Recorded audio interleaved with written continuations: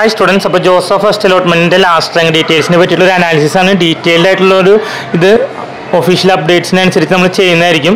അപ്പോൾ നൂറ്റി അമ്പത്തൊന്ന് റാങ്ക് കിട്ടിയ കുട്ടികൾക്കൊക്കെ കംഫർട്ടബിളായിട്ട് എൻ ഐ ടി കാലിക്കട്ട് കിട്ടിയിട്ടുണ്ടെന്നാണ് നമുക്ക് മനസ്സിലാക്കുന്നത്. അതും ജനറൽ കാറ്റഗറിയിൽ തന്നെ കിട്ടിയിട്ടുണ്ട് എന്നാണ് നമ്മൾ മനസ്സിലാക്കേണ്ടത്. സെക്കൻഡ് വരുന്നത് sixty eight rank twenty O B C കിട്ടിയിട്ടുള്ള കുട്ടിക്കും ഈ ജനറൽ കാറ്റഗറിയിൽ തന്നെ എൻ ഐ ടി കാലിക്കട്ട് കിട്ടിയിട്ടുണ്ട്. അപ്പോൾ ഇത് നമ്മളൊരു ഓർഡറിൽ അല്ല ഇപ്പോൾ പറയുന്നത്. എന്നാലും നമുക്ക് ഓരോ കുട്ടികളുടെ ഒരു റാങ്ക് അനുസരിച്ചിട്ട് എത്തവിടെ കിട്ടാനുള്ള സാധ്യത എന്ന് മനസ്സിലാക്കാൻ വേണ്ടിയിട്ടാണ് നിങ്ങൾക്ക് ഈ ഒരു വീഡിയോ ഹെൽപ്ഫുൾ ആവേണ്ടത്. അപ്പോൾ ഇരുന്നൂറ്റി അമ്പത്തി മൂന്ന് കിട്ടിയിട്ടുള്ള ഒരു കുട്ടിക്ക് sixty eight O B C അതും എൻ ഐ ടി കാലിക്കറ്റ് കിട്ടിയിട്ടുണ്ട്. ഒ ബി സി കാറ്റഗറി വെച്ചിട്ടുള്ള കുട്ടികളാണെങ്കിൽ ഇരുന്നൂറ്റി അമ്പതിന് മുകളിൽ റാങ്കുള്ള കുട്ടികൾക്ക് പോലും N I T Calicut first അലോട്ട്മെന്റിന്റെ ഭാഗമായിട്ട് കിട്ടിയിട്ടുണ്ടെന്നാണ് നമുക്ക് ഇതിൽ നിന്ന് മനസ്സിലാക്കിയെടുക്കേണ്ടത്. ഓക്കെ ഇനി കുറച്ചുകൂടി ഹയർ റാങ്കിലേക്ക് വരികയാണെങ്കിൽ four fifty nine general category ആകുമ്പോൾ എസ് പി എ ഭോപ്പാൽ കിട്ടിയിട്ടുണ്ട്. ഓക്കെ കുട്ടികളെ നമുക്ക് അയച്ചെന്നുള്ള ഡീറ്റെയിൽസിന്റെ അടിസ്ഥാനത്തിലാണ് ഞാനിപ്പോൾ ഇത് പറയുന്നത്. ഒന്നുകൂടി അപ്പോൾ എന്തായാലും എസ് പി എ ഭോപ്പാലാണ് ആ കുട്ടിക്ക് കിട്ടിയിട്ടുള്ളത്. ചോയ്സിന്റെ കാര്യത്തിൽ എന്തെങ്കിലും വ്യത്യാസം വരുമെന്നൊന്നും അറിയില്ല. എന്നാലും ഈ കോളേജസിൽ നാനൂറ്റമ്പത്തൊമ്പത് ജനറൽ കാറ്റഗറി കിട്ടുമെന്ന് വേണം മനസ്സിലാക്കാൻ. Five twenty five with one fifty O B C വരുമ്പോൾ എസ് പി എ ഡൽഹി കിട്ടിയിട്ടുണ്ട്. ആ കുട്ടിയുടെ choice number one N I T Calicut ആയിരുന്നു എന്നാണ് മനസ്സിലാക്കേണ്ടത്.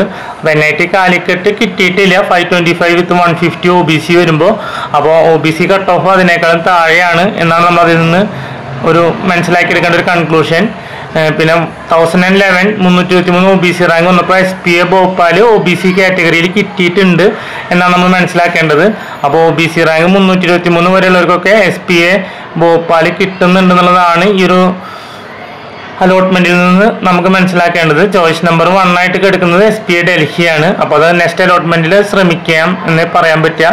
അപ്പോൾ അടുത്തത് one four six nine general കാറ്റഗറിയിൽ വന്നപ്പോൾ നോ അലോട്ട്മെന്റ് ആണ്. അപ്പോൾ വൺ ഫോർ സിക്സ് നയൻ എന്നുള്ളത് ഒരു ജനറൽ കാറ്റഗറി റാങ്ക് ആയിട്ട് വരുമ്പോഴേക്കും ഓൾമോസ്റ്റ് എല്ലാ സീറ്റും ഫില്ലായിട്ടുണ്ട് ഫോർ ജനറൽ കാറ്റഗറീസ് എന്നാണ് മനസ്സിലാക്കേണ്ടത് അപ്പോൾ ഒരു വൺ തൗസൻഡ് ഫോർ ഹൺഡ്രഡിന് താഴെയാണ് general കാറ്റഗറിയുടെ cut off after first allotment നിൽക്കുന്നത്.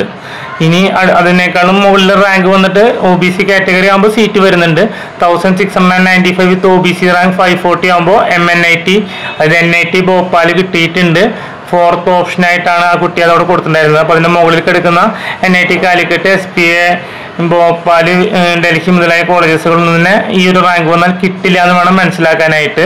ഇനി അടുത്ത് two thousand six hundred forty seven with O B C rank five thirty seven ആവുമ്പോൾ നോ സീറ്റ് അലോട്ടഡ് ആണ്. അപ്പോൾ O B C rank five thirty seven ഒക്കെ ആവുമ്പോൾ ഫൈവ് ഹൺഡ്രഡിന് മുകളിൽ വന്നിട്ടുള്ള കുട്ടികൾക്കൊന്നും തന്നെ ആദ്യത്തെ ഈ ഒരു അലോട്ട്മെന്റിന്റെ ഭാഗമായിട്ട് സീറ്റ് കിട്ടിയിട്ടില്ല എന്ന് വേണം മനസ്സിലാക്കാനായിട്ട്.